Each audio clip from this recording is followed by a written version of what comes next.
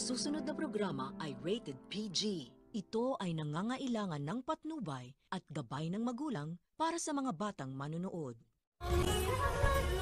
Isang mapagpalang araw po sa ating lahat at narito po tayo para sa panibagong update ng bagong episode ng Abot Kamay na Pangarap. At dahil nga nilagyan ni Zoe ng ah, katas ng talampunay ang inumin ng mga rebelde, kaya't ah, nakatulog ito, nalasing ito ng sobra nang hindi nila nalalaman yung mga pagsasagawa ng plano nila Annalyn, Zoe at Luke. Kaya nga naman nagpaalam na sila kay Stella na kailangan na nilang tumakas at sinabi nga ni Stella kung paano sila tumakas at ah, sinimulan na ni Zoe, Annalyn at Luke yung pagtakas. Samantala, itong si uh, Lynette naman ay ah, inamin nga sa kanya ng kapatid ni Oscar kung saan yung pinaka-location ng mga rebelde. Kaya nga naman tuwang-tuwa itong si Lynette nang lumabas at ah, ibinalita kina Dr. Tanyag, Moira at iba pang kasamahan nila sa ospital yung magandang balita. Samantala, instead na matuwa itong si Moira, ay nagalit pa ito dahil nagmamayabang umanong si Lynette sa sinabi niya at ah, ang pag-amin umano ng ah, kapatid ni Oscar kung saan ang location ng mga rebelde. Kaya nga naman nagpasalamat agad si ah, Dr. Tanyag dito kay Lynette at pati si Michael at natuwa din at salamat umano at ah, tinuro na kung saan yung location ni Annalyn at nagsagawa na ang mga pulis ng ah, operation para naman hanapin itong si Annalyn, Zoe at Luke. Samantala, nagtakas na nga itong si Annalyn at si Luke at Zoe ngunit sa hindi magandang pagkakataon ay nadapa nga itong si Zoe at ah, pagod na pagod na siya umano at kailangan niya munang magpahinga at ah, sinabi nga ni Luke na sige magpapahinga po tayo at ah, aalis tayo ulit.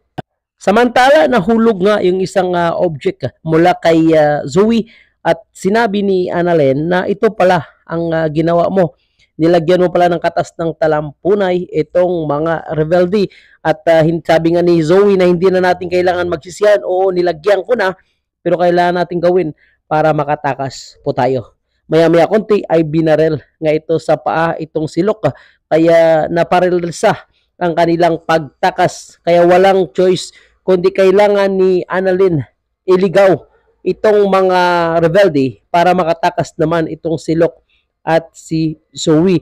Ngunit hindi ka pumapayag itong silok at si Zoe na gawin yun ni Annalyn. Ngunit wala na silang magawa sapagkat sinimula na ni Annalyn ang kanyang planong pagligaw ng mga rebelde. Si Locke at si Zoe ay ah, tumakas at sinundan ang daan kung saan ang ah, itinuro ni Stella. Samantala itong si Zoe naman ay hinahabol nga nitong mga rebelde na medyo nalasing pa. At ah, sumama na nga si Dr. Tanyag ah, sa mga pulis para puntahan kung saan yung kampo ng mga rebelde. At ah, si uh, Annalyn naman ay hinahabol nga ng mga rebelde at ah, habang nagtatago itong si Annalyn, may biglang humawak sa kanyang ah, likod. At ah, paglingon niya nga ay mga pulis na. Tuwang-tuwa si Annalyn sapagkat tinakala niyang nakaligtas na siya. At sinabi nga ng pulis na ligtas ka na at pwede ka nang umuwi. Ngunit binaril nga sila dalawa ni Oscar. Kaya nga naman nahuli ulit si Oscar ng mga rebelde. Abangan natin bukas si Annalyn na nga lang ba yung nahuli ng mga rebelde? Tuluyan na bang nakatakas itong si Locke at Zoe? Ano yung magiging reaction ni Moira kung malalaman niya na nagiging mabait na itong si Zoe kay Annalyn?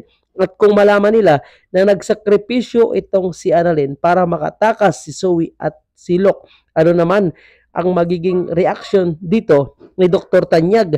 Aaminin na ba ni Dr. Tanyag na anak niya si Annalyn? ano naman ang magiging reaction ni Lynette kung malalaman niya na si Annalyn ay naiwan sa kampo ng mga rebelde. So yan po yung ah, medyo ah, abang-abangan po natin bukas sa mga bagong episode dito lang sa Abot